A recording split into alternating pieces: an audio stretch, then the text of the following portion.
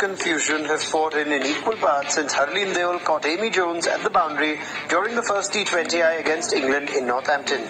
It takes athleticism, judgment and core strength to pull these off as Harleen caught it within the field of play, realized she was going to step over the rope, lobbed it in the air and then dived back to complete the catch. Awesome?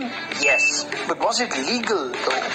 There have been questions around the legality of the catch because Harleen had not grounded herself back in the field of play before touching the ball again. Strictly speaking, that should not be a problem. The MCC's law 19.5.2 states that the fielder needs to be grounded within the field of play before making their first contact with the ball.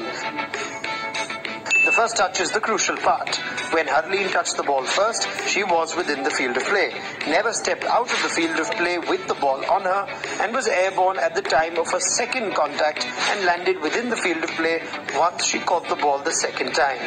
The ICC umpires have been consistent at judging these efforts as clean and legal catches. And yes, these catches do look pretty awesome.